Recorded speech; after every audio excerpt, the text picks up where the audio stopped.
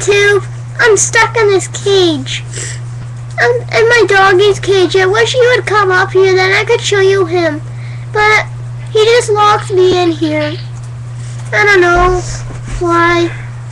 He just likes torturing people. Get out, doggy. He's a fat little pig, isn't he? Yes, he sort of is. I don't want to see him. See? He's such a fat little pig. Thank you. Uh, Thank you for watching.